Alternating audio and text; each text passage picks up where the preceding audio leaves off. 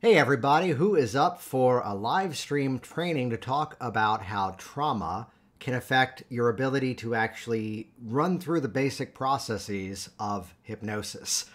That's what this is going to be all about. For those of you that might not yet know me, I'm Jason Linett, and part of my backstory is that I opened up a local business called Virginia Hypnosis back in November of 2009 and ran it for about a dozen years before making the decision to migrate down here to Orlando, Florida, move my entire business online in terms of seeing clients and all the details therein.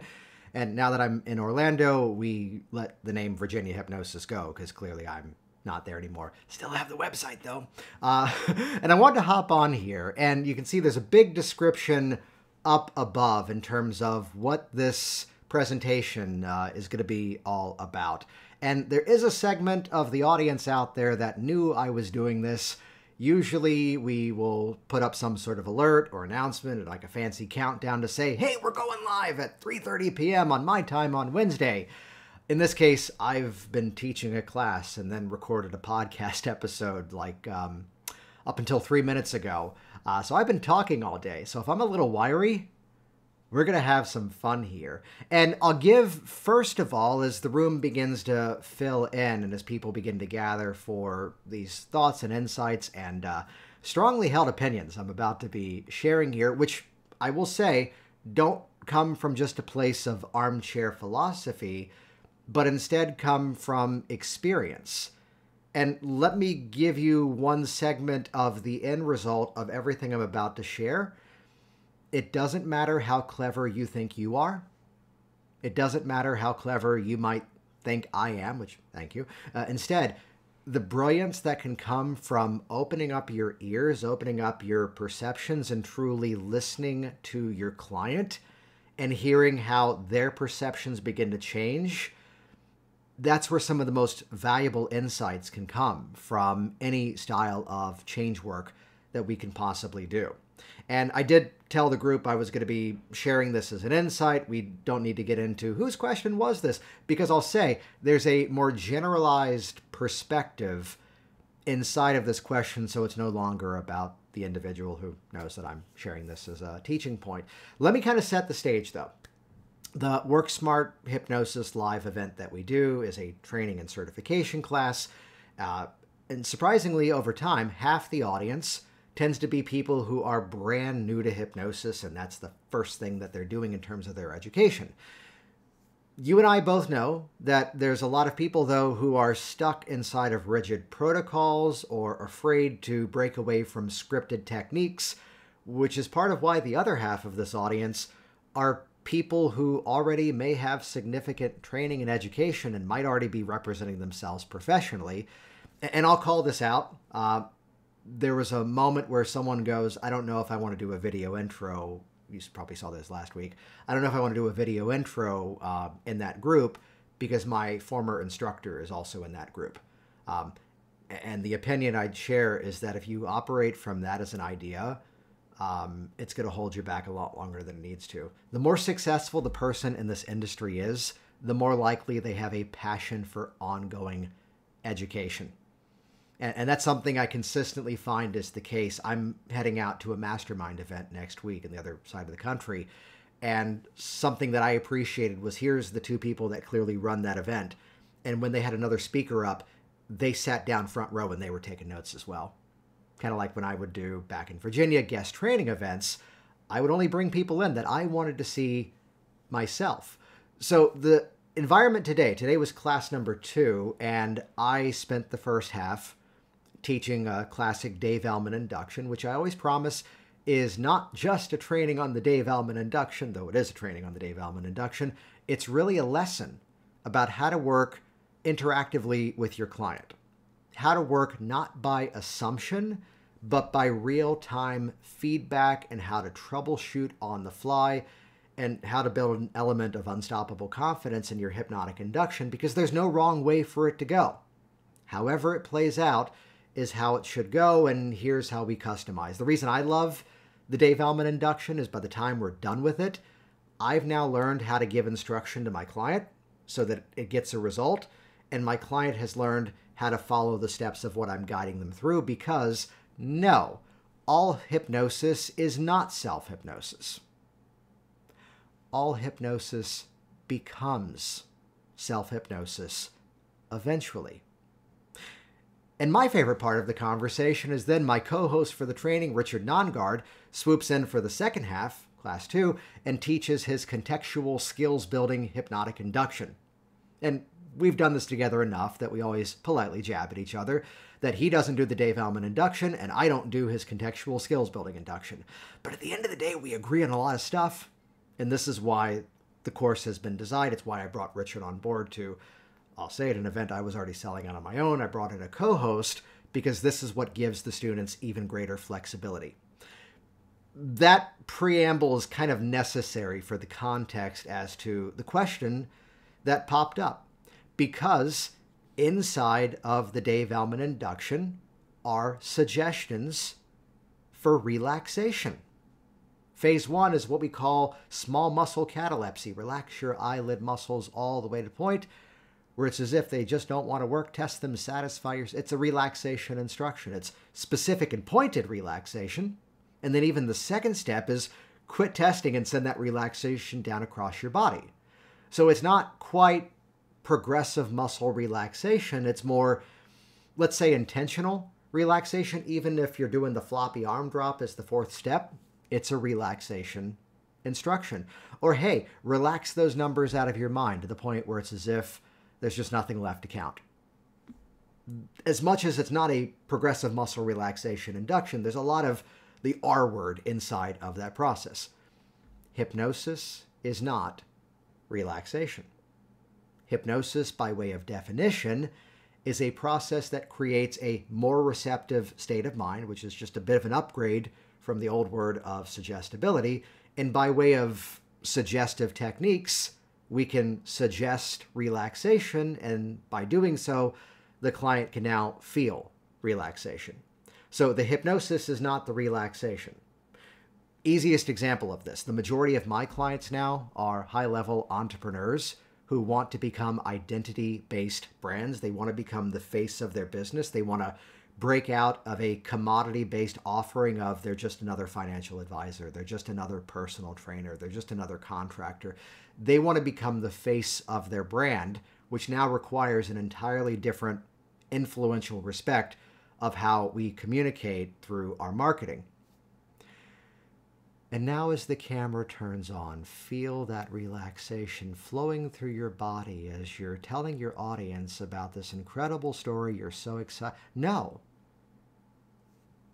This is a phrase that stands to be true consistently that we need to point our change process to the emotions.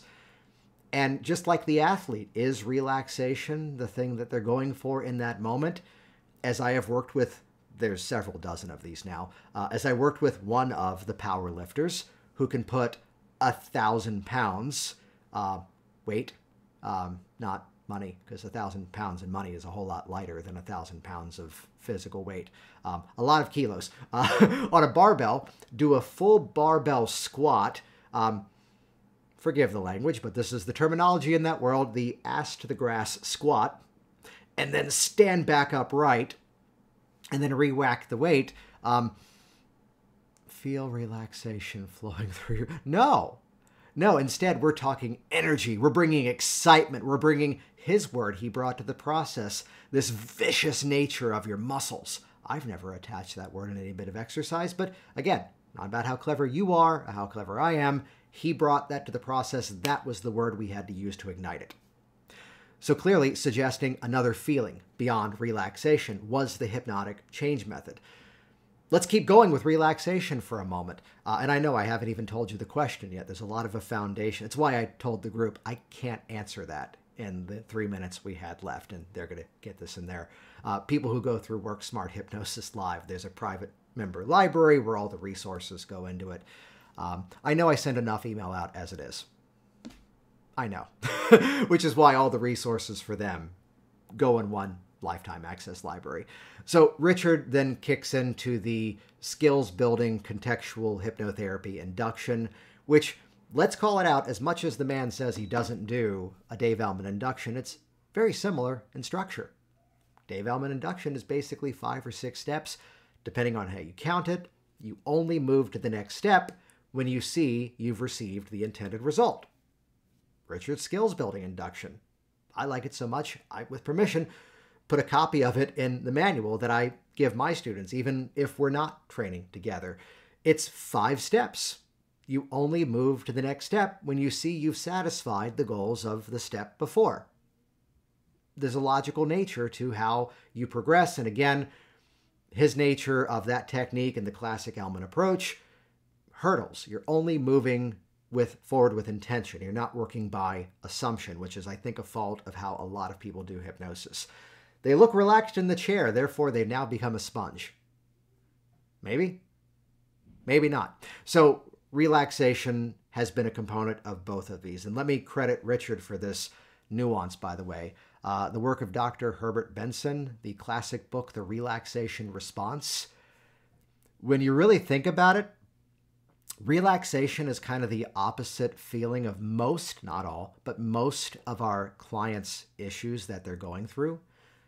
Relaxation has a benefit if they've been anxious in public speaking and if they can recreate a feeling of relaxation. Clearly, that's going to help them. I heard Michael Ellner for many years say if all you did was progressive muscle relaxation, you can expect a significant increase in comfort and a reduction of pain. Absolutely. Let's go to some other categories. Irritable bowel syndrome. Clearly, building relaxation is going to be beneficial for that person. A person holding on to even fear of public speaking if they can relax on the flight. So let's respectfully or disrespectfully call this out. There's a segment of our community that likes to say, don't do relaxotherapy, which, thank you, Richard, for this nuance the research doesn't even suggest, the research proves it's a viable modality to create change. And as hypnotists, it's a process of creating a more receptive state of mind. Relaxation, absolutely valid. 12 minutes and 24 seconds in, here's the question that was then asked. You needed all that as a foundation for this moment. But there's a lot of people, this was a question from someone in the group, there's a lot of people who are carrying around hidden trauma. And would the relaxation be, I'll add a word this person did not use, would the relaxation be, let's say, contraindicative? Did I say that right? Yes, uh, it's a contraindication, so therefore it's contraindicative. Would it be something that gets in the way of, let's use a simpler word here, would that actually cause problem in the session was one part of the question. The other part of it was can those people not relax? The way the question was presented, and again, I told the group and got a nice thank you for saying I want to go longer on this answer and share this with all of you because it's a thing that often pops up because there's some embedded stuff inside of the question that needs to be addressed. One thing I did share with the community in that class, there's like 36 people around the world for this one, which, side note, I'll get in one gentle plug here worksmarthypnosislive.com. We've already got the next one scheduled in March. If all of this sounds like concepts you would find to be helpful, hey, join us. Next class is coming soon. worksmarthypnosislive.com. The the one thing that has to be added to that question, maybe not the word, but more of a concept, maybe yes, there are people, Richard gave a really cool insight. We're all carrying around some form of trauma, uh, whether it's the clinical definition of trauma or the, let's say, catastrophic example of trauma, where to say it politely, there are people who have had to live through events that people just shouldn't have had to have gone through, is the simplest way I can say it. But then again, even the birth, the experience of going through birth as the baby is traumatic. You're suddenly changing environments. So life as itself is a source of trauma, obviously with different ranges attached to it. So the word that needs to be attached to this is maybe. Maybe they are carrying around trauma, and maybe it might be a reason why they would find it challenging to be suggested to relax, which let me quote Richard here. Uh, I'm now realizing this might have been helpful to invite him as well, but I'm also remembering he's not available right now, and I called out the time. And thanks, Richard, for watching. The, the situation would be that yes, and, not a yes, but, yes, and clearly, if that's the case, using hypnosis as a modality to teach them how to consistently relax, all hypnosis becomes self hypnosis eventually. Well, this is where classically, this is not my phrase, this is a common held statement. If you ask a better question, you get a better answer. So it's not, you can't do that technique with that person. And, and there's a lot of that in our hypnosis industry. You can't do the losing of the numbers moment with someone who's analytical or their life is dependent upon numbers. Yeah, you can. Set the frame, follow through. I one time, back when I was in my origin story of stage hypnotist, uh, had an accountant as the volunteer. And Barbara, wouldn't it be great if suddenly we could make your entire life 10% easier? If that sounds good, nod your head yes, so we all know. She nods her head with a big old smile. Well, wonderful, because you know there's 10 numbers from zero all the way up to nine. And all other numbers are combos of those numbers, whether they're in the thousands or in the decimals. And you know what? Here's how life can become 10% easier. The number six is about to take a bit of a vacation. You're not going to miss it at all, and not to worry, we're going to bring it back before you even leave the stage tonight. And we're going to have some fun with this because for the next few moments, it's as if that thing isn't there at all. This whole idea of life becoming 10% easier just by simply removing one thing, just temporarily, we'll bring it back later. If that sounds all right, nod your head. Count your fingers, the classic routine. One, two, three, four, five, seven, eight, nine, ten, eleven. Barbara, you're an accountant. Do you ever count on your fingers? Yeah. Payroll's going to be interesting this week, isn't it? Set the frame, follow through. When all else fails, apply suggestion. This may seem like a transition out of nowhere. And this, I will say, is in the greatest hits of things I talk about. Uh, so stick with me here if you've heard this before. There's one day in my office that everything changed. Two men who did not know each other, who oddly enough had the same goal and had an almost identical backstory. One was my 10 a.m. appointment, one was my 4 p.m. appointment. So they didn't even cross paths. Both of them. Now that I'm retired, I need to lose some weight. I've had a life of being a consultant for the government, and uh, I mean, ridiculously similar. I've had this life of being the consultant, and that involves a lot of lunch meetings and a lot of, um, you know, sort of on the level of lobbying type stuff and entertaining dignitaries to suggest legislation. And it's often a lot of food. That's kind of how I got the weight on. I'm at a desk most of the time. But now that I'm retired, here's the 10 a.m. appointment. This is going to be so much easier because I'm not doing that stuff anymore. I can cook healthier foods for myself at home. I can choose what I go have when I'm dining out. I can go to the gym and focus on getting better at things. I've been putting this off for years because I knew this would be a lot easier. Here comes four o'clock. I don't even know if I should be doing this right now. Because, I mean, it's my retirement. I'm going to want to sit around at home. I'm not going to want to cook for myself. We're going to be going on vacations. I don't even think I want to go to a gym should I even be doing this right now? And to give hypnosis some credit, I continue to work with both. You can guess which one the weight was dropping faster. Until the day I respectfully snapped and told guy number two the story of guy number one. And it's like flipping a switch. Weight was falling off once again. So here's the whole thesis of this lecture I wanted to share with you. It's not the event it's the reaction to the event. Embedded inside of the question is the fact that one of the most dangerous situations, one of the most dangerous words, one of the most dangerous words that people can use in their language is the word because. Because of this situation, that's why I can't relax. And I'll I'll leave the specific diagnosis out of this other anecdote but here's the client who walked into my office one day saying, I smoke because I've been diagnosed with emotional diagnosable situation. We'll leave it at that. without ever addressing it. And yes, he was sent by way of a referral. His words, not mine. I'll censor it to stay polite. I've got enough, fill in the blank, your favorite four letter expletive. I've got enough blank going on in my life. I don't need cigarettes on top of that. The same way into the problem that used to ratify why he was stuck with the habit then became every reason why he threw them out. And this story is now at least 12 years old. I've kept up with this guy, hasn't touched him since. So, my real intention of hopping on here don't hypnotize yourself before you hypnotize your client. If you start to convince yourself of categories and circumstances and situations and going, this is why this person is going to be this way, which means I can't do this. Maybe. But then again, most likely not. And instead, what is, to give Richard some credit here, what is the skill set the person can have having utilized this technique? And let's share our sort of subtext of a lot of what we teach in this event. Um, stop doing hypnosis just to impress other hypnotists.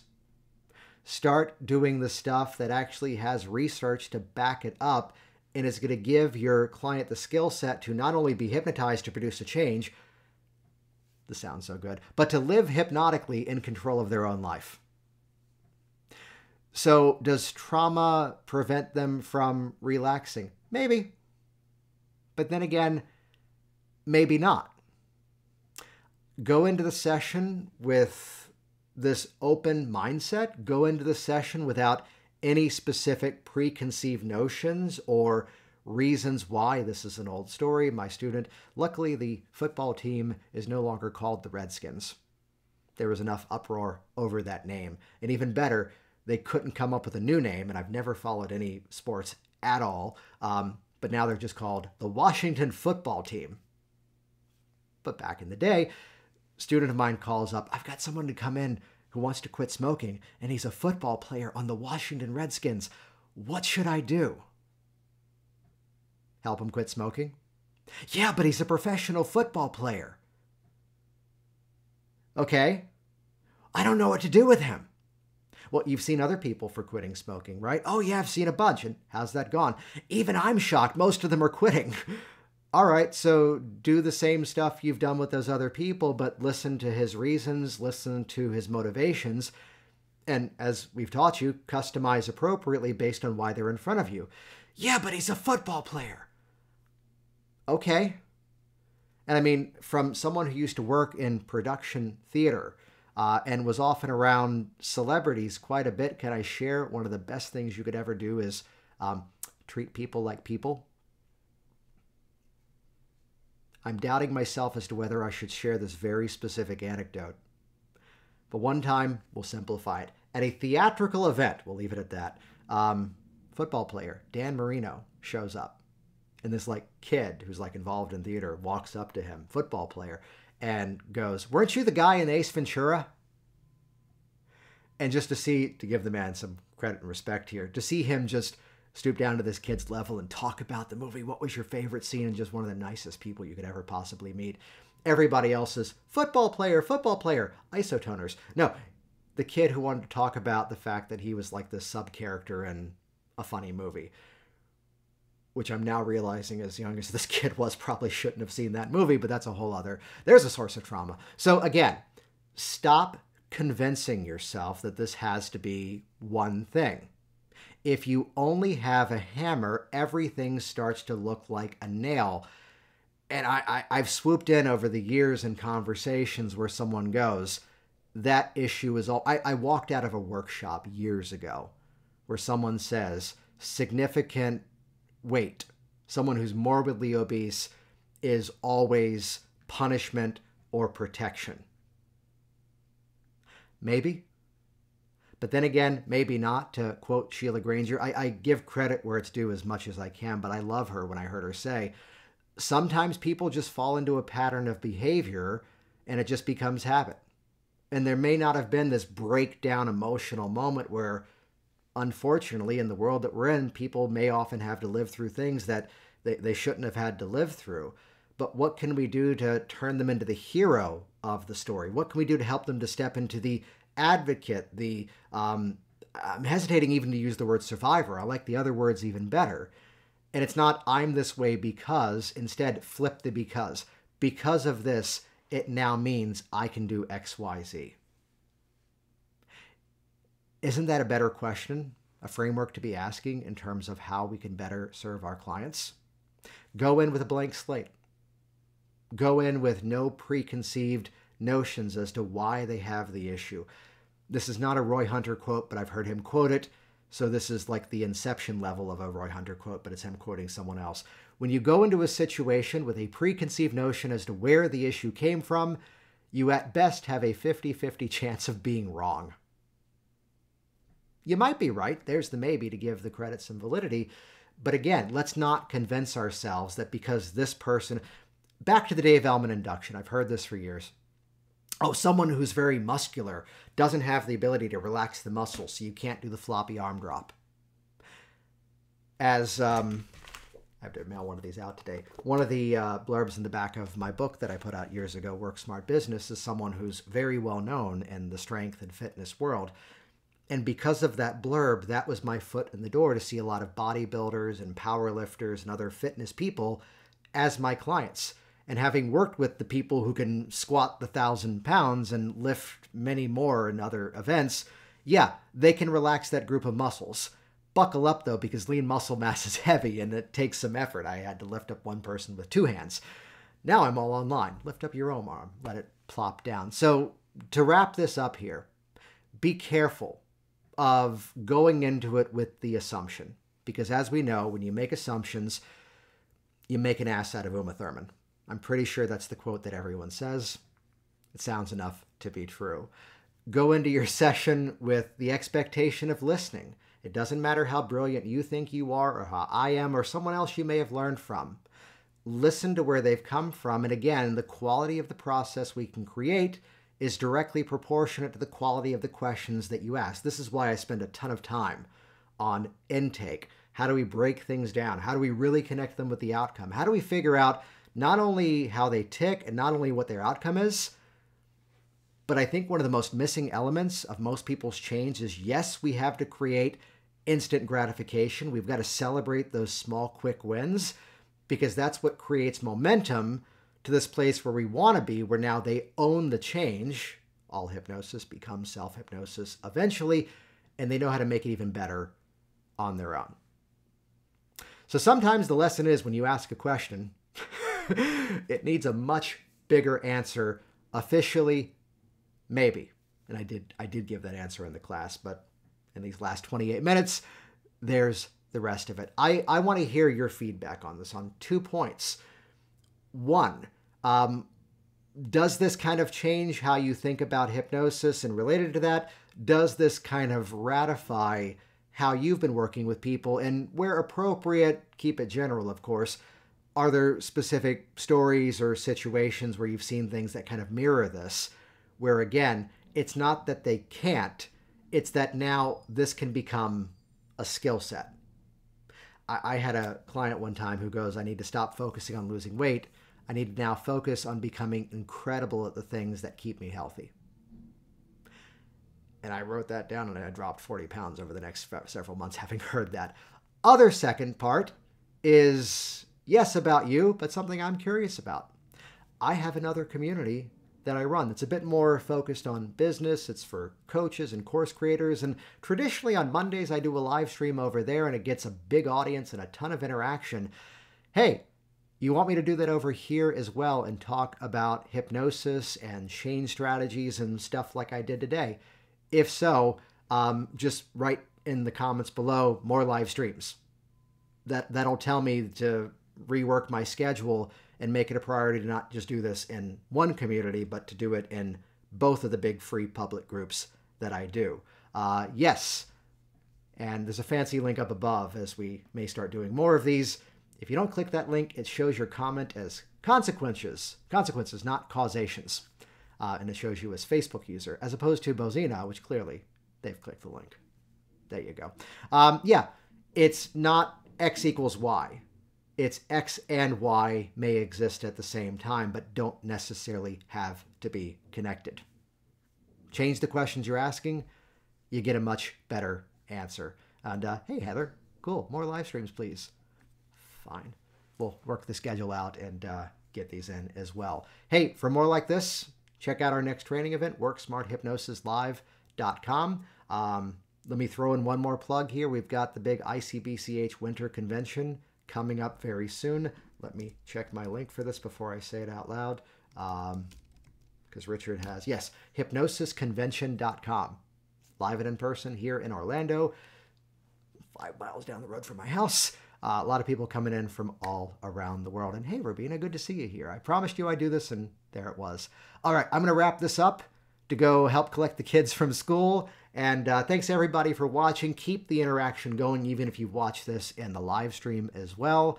If you're watching it as a replay, and um, maybe let's go off of that. All right, see you all soon.